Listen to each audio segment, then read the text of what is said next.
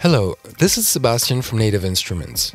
In this video, we will show you how to re-add a Native Instruments Kontakt library that has already been installed on one of your hard drives. In recent versions of Kontakt 5, the libraries are being managed by our service tool Native Access. At the moment, it's not possible to re-add already installed Kontakt libraries with Native Access, but our developers are already working on implementing this feature. In the meantime, we are offering you the workaround presented in this video which includes a temporary downgrade to Kontakt version 566. We understand that this situation is far from ideal, but we are convinced that using this workaround is quicker and more convenient than having to download whole libraries again.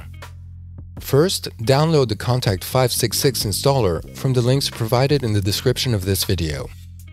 Please choose your operating system, and if you're using the full version of Kontakt, or the player version.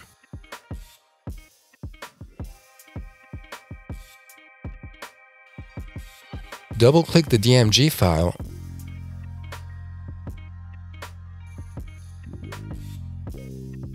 and launch the installer to start the installation process.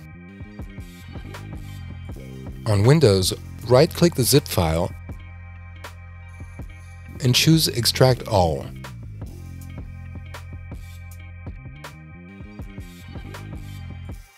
Then run the installer.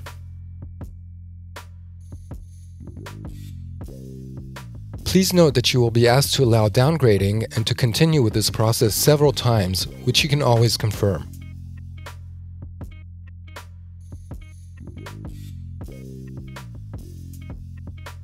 Mac users also have to enter their admin password.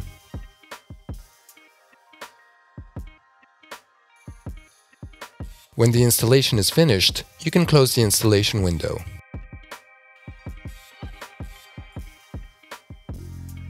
Now launch the Kontakt standalone application.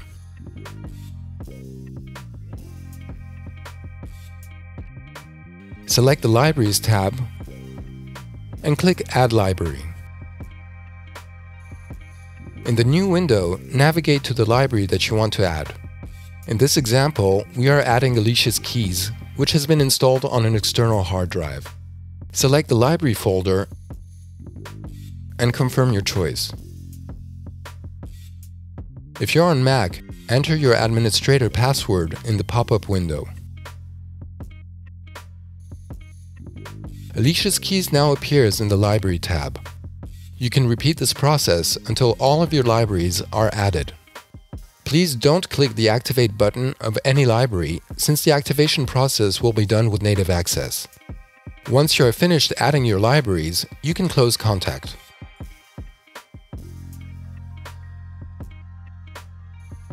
Next, to activate your libraries, open Native Access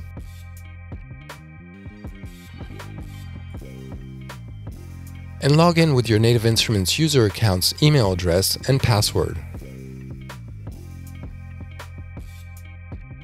Go to the Installed Products tab. As you can see, your Kontakt library has been automatically activated. Finally, go to the Available Updates tab and install all available updates to make sure that you are using the current version of Kontakt and of your library.